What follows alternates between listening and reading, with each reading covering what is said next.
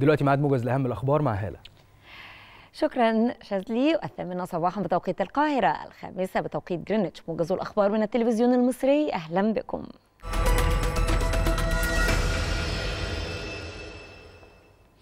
يعقد اليوم اجتماعا عاجلا لمجلس جامعة الدول العربية على مستوى المندوبين الدائمين في دورة غير عادية برئاسة مصر لبحث مواجهة العدوان الإسرائيلي المستمر والمتصاعد على الشعب الفلسطيني بما في ذلك العدوان الحالي على مدينة جنين ومخيمها. وقال مندوب فلسطين الدائم لدى الجامعة العربية السفير مهند العكلوك إن الاجتماع الذي سيعقد بناء على طلب فلسطين سيبحث أيضا سبل التحرك الفعال على المستوى العربي والدولي لوقف هذا العدوان الإسرائيلي. الإسرائيلي ومساءلة مرتكبيه وطلب توفير الحماية الدولية للشعب الفلسطيني. من جانبها حذرت الأمانة العامة لجامعة الدول العربية من تبعات هذا العدوان وتداعياته داعية المجتمع الدولي وخاصة مجلس الأمن والدول الأعضاء لتحمل مسؤولياتها في الوقف الفوري للعدوان الإسرائيلي وتوفير الحماية للشعب الفلسطيني.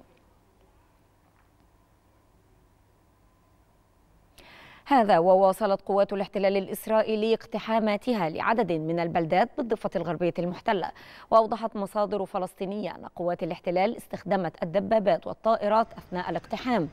يأتي هذا في الوقت الذي أعلن فيه مكتب الرئيس الفلسطيني محمود عباس في بيان أن الرئيس قرر وقف جميع الاتصالات واللقاءات مع الجانب الإسرائيلي والاستمرار في وقف التنسيق الأمني.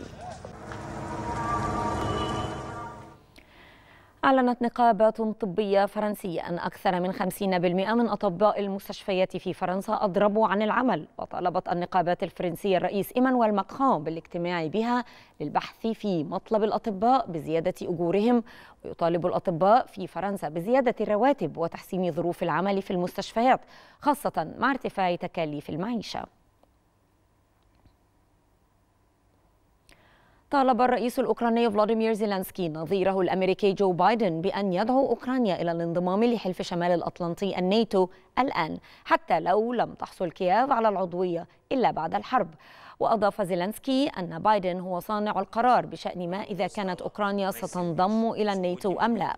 ومن المقرر أن يعقد الناتو قمة في ليتوانيا يوم الحادي عشر والثاني عشر من يوليو الجاري حيث من المتوقع أن يناقش الزعماء عضوية أوكرانيا. أعلن وزير الدفاع الألماني بوريس بيستوريوس أن العشرات من دبابات ليوبارد ستصل إلى أوكرانيا الأسابيع المقبلة من ألمانيا والدنمارك. وأضاف وزير الدفاع الألماني أن برلين وعدت بحزمة مساعدات جديدة بقيمة 2.7 مليار يورو تتضمن أسلحة أخرى ضرورية بالإضافة إلى منظومات دفاع جوي إضافية. يأتي هذا في الوقت الذي أعلن فيه وزير الدفاع الروسي سيرجي شويغو أن القوات الروسية دمرت 16 دبابة ليوبارد التي سلمتها بولندا والبرتغال إلى كييف.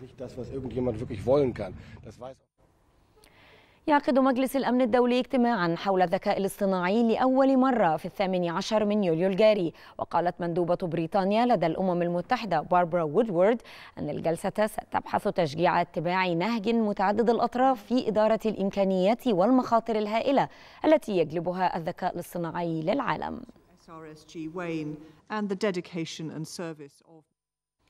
ورياضيا اختتم المنتخب الوطني تدريباته استعدادا لمواجهة نظيره الغيني اليوم بملعب طنجة بالمغرب في الدور النصف النهائي من بطولة كأس الأمم الإفريقية تحت 23 عاما المؤهلة لأولمبياد باريس 2024 وكان المنتخب الأولمبي قد تأهل إلى الدور قبل النهائي بعدما تصدر جدول ترتيب المجموعة الثانية برصيد سبع نقاط. انتهى موجز الثامنة وعودة لاستكمال باقي فقرات برنامج صباح الخير يا مصر بعد الفاصل.